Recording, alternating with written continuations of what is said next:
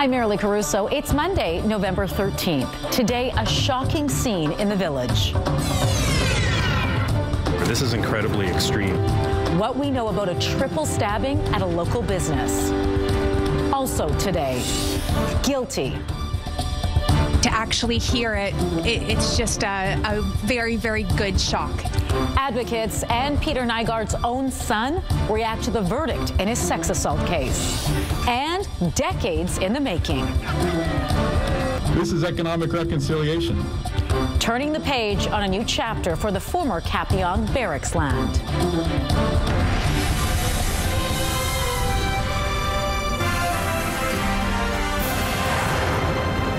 Good afternoon. Thanks for joining us.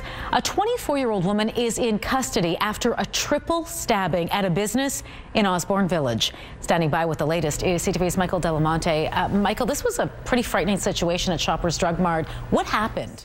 Are also part of the celebrations. We'll have more on some of the local mm -hmm. celebrations coming up next hour at 6 o'clock.